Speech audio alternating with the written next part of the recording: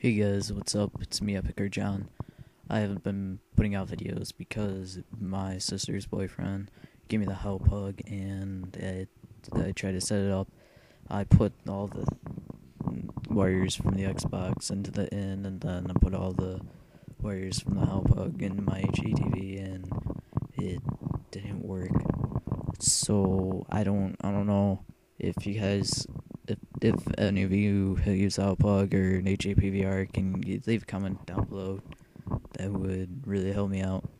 And just stick around because I got one video of me and Eric, and then I'm kind of out of videos. But I have Sony Vegas Pro 10 now, and school is starting in a week for me. I'm gonna be trying to get this up tonight.